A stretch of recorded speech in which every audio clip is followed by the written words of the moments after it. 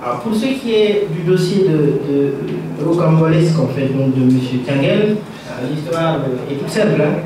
C'est que euh, on a jugé quelqu'un, on l'a condamné euh, à perpétuité. Et ensuite on revient, on dit non, c'est pas lui, c'est quelqu'un d'autre. C'est un Tiangel. Sauf que les dispositions du code de, procédure pénale est claire. Pour inculper quelqu'un, inculper, c'est-à-dire l'accuser officiellement et le soumettre en fait, à une procédure de poursuite, il faut l'avoir clairement identifié par son nom, son prénom, sa date et lieu de naissance, son domicile et sa profession.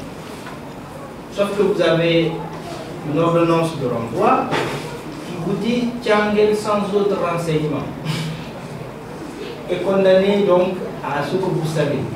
La procédure est pendante devant la Cour de justice de la CEDAO. Je ne peux pas m'étaler en l'état actuel des choses davantage là-dessus.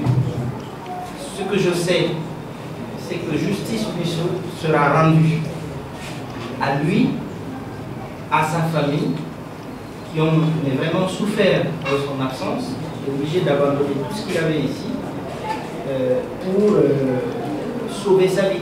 En réalité, pour moi, il y avait deux possibilités. C'est qu'on a estimé qu'il était un outil fiable de l'organisation pour laquelle il travaillait. Donc il y avait deux possibilités.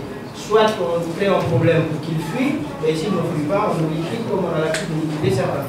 C'est exactement comme ça que ça se passe en fait dans les manifestations. Donc si je peux m'exprimer, euh, je ne sais pas si ça vous satisfait, mais c'est ce que je peux dire. La procédure est devant la Cour, l'audience sera fixée dans peut-être dans deux mois ou trois mois. Je ne sais pas encore, j'attends. C'est une décision qui relève de la Cour en fonction du nombre de dossiers qu'ils ont, de fixer la date d'audience.